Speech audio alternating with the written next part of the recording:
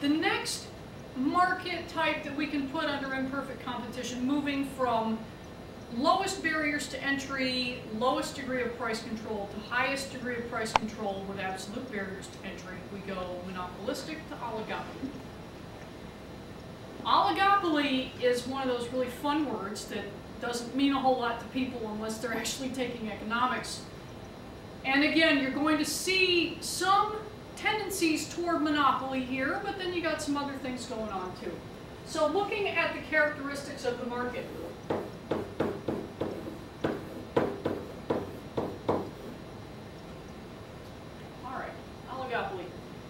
Depending on the product, and this, this frustrates people because they want to know, are there lots of sellers or only a few sellers? The answer is yes.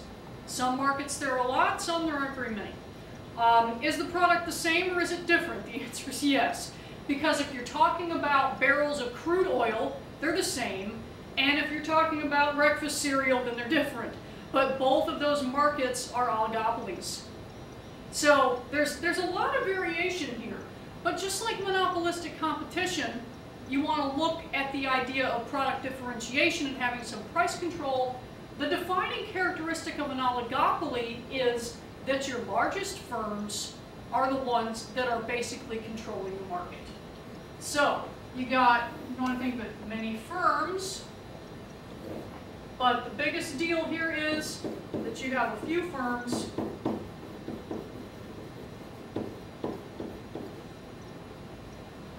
with a very high degree of control.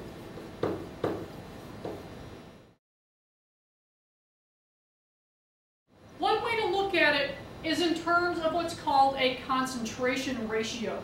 If you want to think about it that way, that may or may not be in whatever book you're using. Hope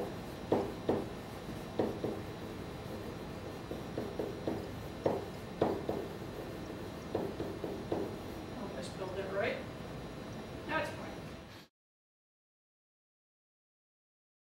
Um, if you look at what percentage of market sales are controlled by the four biggest firms, okay? Biggest firms,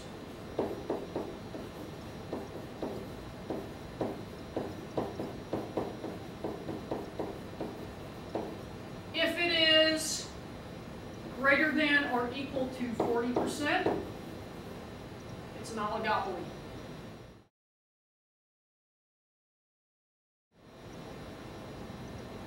So that's one way you can figure out what exactly the market type is you're dealing with.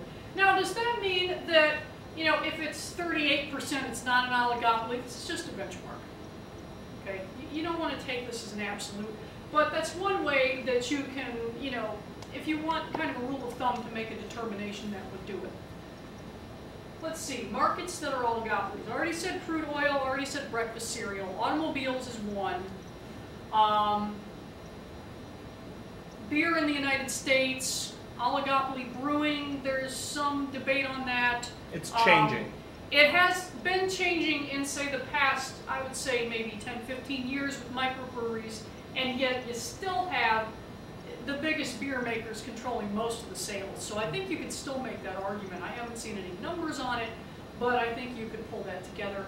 Um, baby food is another one. Um, and there were some allegations of price fixing in baby food markets in the last maybe 15 years.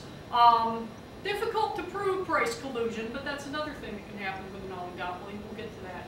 But remember, um, with an oligopoly, the biggest difference is right here. It doesn't matter if the product is the same or different, okay? If it's a differentiated oligopoly, the product is different. If it's a homogeneous oligopoly, the product is homogeneous. It doesn't matter. What you're looking for is a few firms that dominate and other firms can either get on board with their pricing decisions or not. And we're going to look at what that does to their demand curves in just a minute.